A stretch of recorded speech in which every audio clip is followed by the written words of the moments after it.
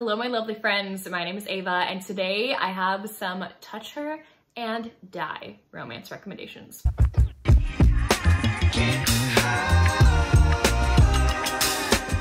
These are romances where the heroes of these books are very possessive of their woman, and if you touch their woman, you gonna die.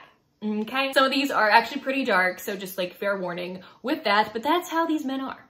They get pretty dark at times. So let's get into these recommendations. First is Kingdom Fall by A. Zavarelli. This is actually also a, a, nanny romance on top of it being a mafia one. Our hero in here is looking for a nanny for his six-year-old, seven-year-old son, um, and he's actually a mafia boss and he ends up hiring our heroine. She has a disability. She's not able to speak. She experienced a vocal cord injury and so she cannot speak. She communicates through sign language and she actually ends up also teaching the child that she eventually becomes the nanny for sign language as well. And they really form this amazing, wonderful bond. Um, but this is the romance between her and the man who hired her, um, his father. And there's a lot of dark elements in here because he lives such a dangerous life.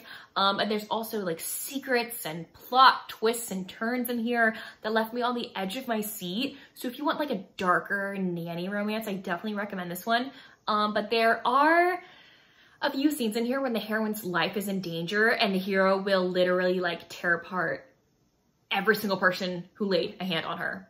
And I'm like, dang, this man can get it. The Perfectly Imperfect series by Neva Altaj has this trope in it by the spades, I think in almost every single one of the books, um, but I'm gonna talk about two today. First is Stolen Touches, which is book number five in the series. This one's about Malene and Salvatore. Salvatore starts out by stalking Malene and um, ends up roping her into marrying him by force. Essentially, she's not happy about it, um, but he gets his way. It's fine. It's totally fine.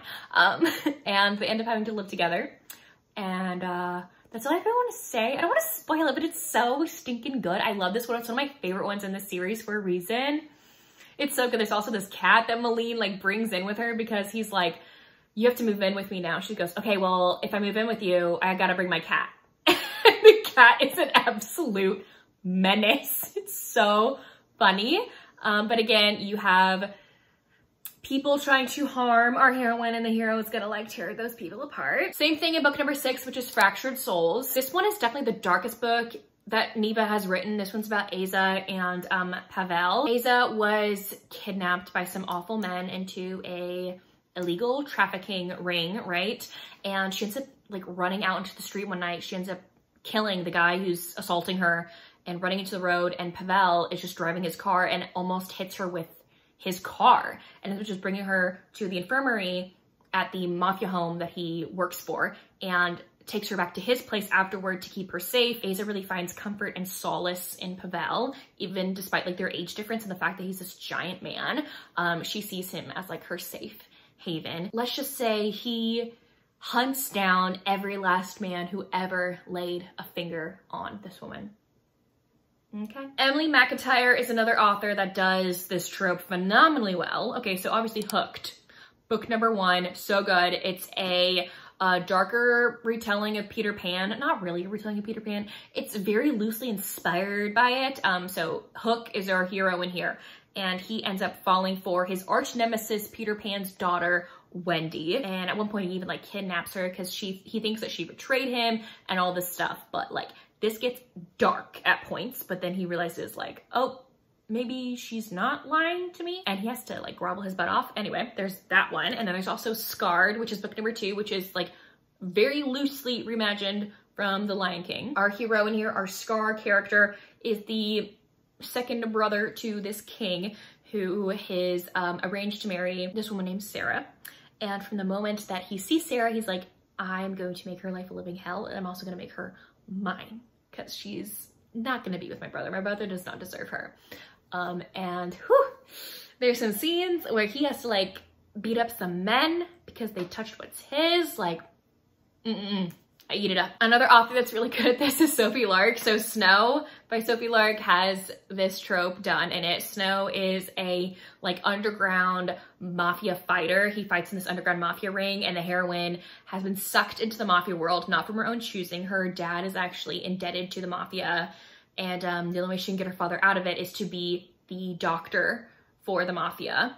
Um, and so she's not like kind of there willingly, but she's there during one of the fighting matches and she ends up meeting Snow. And it's essentially like love at first sight for both of them, but they cannot be together because of the mafia ties that both of them have. Like it's very forbidden. No one knows how to fight his butt off, so you best believe that if you touch this woman, he's gonna beat your butt up. Okay, if you want an alien romance, I have Heart's Prisoner by um, Olivia Riley. This one is about our heroine who is a scientist who has been hired to study this very dangerous alien species. He's been captured and locked up on this very dangerous alien space station that is completely full of alien species alien species that are there to study and he is probably like one of the most dangerous out of all of them and she's been hired to study him, but she's actually like, not the same as her other scientists. Like she's not there to poke and prod at him. She wants to get to know him and like get to know him like as a person. Like he's a person. She wants to get to know him as a person. She doesn't really agree with all these other doctors and like poking and prodding him and sometimes even shocking him and using force on him. And the two of them befriend each other, learn each other's languages, get to know each other through the cell bars and um, end up falling for each other throughout all of it. And there's one point in the book where he escapes and um, like a bunch of other aliens escapes too and they're out to get her and he's going to rip them apart. Pestilence by Laura Thalassa is definitely an interesting one because um, Pestilence hurts this woman so many times. The heroine of the story, oh wait, first of all, Pestilence is one of the four horsemen of the apocalypse. He is like the plague one, so he's sent to Earth to like spread plague around the Earth to eliminate the human race okay? And the heroine of the story is like, I'm going to take one for the team, try and kill him. She ends up killing him, burning him alive. She does not know that Pestilence cannot die. He comes back to life. Full of vengeance is going to get back at this woman who killed him, ends up kidnapping her and forcing her to watch him kill the entire human race in front of her eyes. While doing so, he ends up like hurting her on multiple levels, like dragging her on his horse, scraping her uh, all up, like she's literally dragging by her hands, like on rope, like hold back scraping across the ground for miles and miles and miles and miles. This horse is dragging her. That's just one of the instances where this guy like tortures her, okay? Um, but then there comes a shifting point where um, people are out to get her because she's with him. They don't know she's not with him willingly. They try to get her and he is not having it. He's like, you can come at me all you want, but come at her? No, she's mine to torture you cannot touch her. Sea of Ruin by Pam Godwin is another one. This book is so dark, so like, please be aware of that, please. Um, so this is about our female pirate, um, what's her name, Beckett, right? Bennett, not Beckett, whoa. So Bennett Sharp is a female pirate and she has two men after her. She has her husband, her pirate husband out to find her, capture her, get her back. And there's also a pirate hunter named Lord Ashley Cutler who is out to do the same thing. Okay, um, so we have these two men trying to find her and ruin her life. There are multiple instances in here where both men are out to kill anyone who touches or lays a finger on her. But like they lay a finger on her themselves. You know what I mean? Like this book gets dark at points, okay? Um, but there's like a really, really, really dark portion of this book where she is getting abused by some awful men.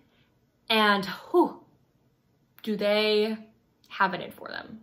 Let me just say that. And the last book that I have is Yearning for Her by Tiffany Roberts. This is a paranormal romance between an incubus hero and our heroine, who's a human woman named Willow. She does not know that he's an incubus, by the way, when they get together, but they have this one night tryst after she has a horrible breakup. And the hero here, Kian, is an incubus, so he feeds off of passion and lust from people, and he has to like feed off of that like every few hours, I wanna say. One night with Willow has him like fed for like a week or two. But then like he realizes I cannot feed off of anybody else now that I've had this woman. Like my body will physically not let me. And he can't find her because she left the night after, the morning after. Cannot find her is like completely like becoming a husk because of it. Cannot feed off of anybody else. And then eventually he does find her and things happen, okay? Um, but man, he will go towards the, to the ends of the earth to make this woman his. He literally starts walking around the streets trying to find this woman in like the middle of a very popular city. There's one point in the book where the heroine's in danger and he's not He's not having that, okay? There you have it. Those are 10 books with the touch her and die trope, very possessive, obsessive men, okay? Um, let me know down below if you've read any of these books or if you plan to, and if you don't feel like commenting any of those things, you can leave me the black heart emoji in the comment section down below. But anyways, thank y'all so, so much for watching. I will see y'all soon in my next one. Bye y'all.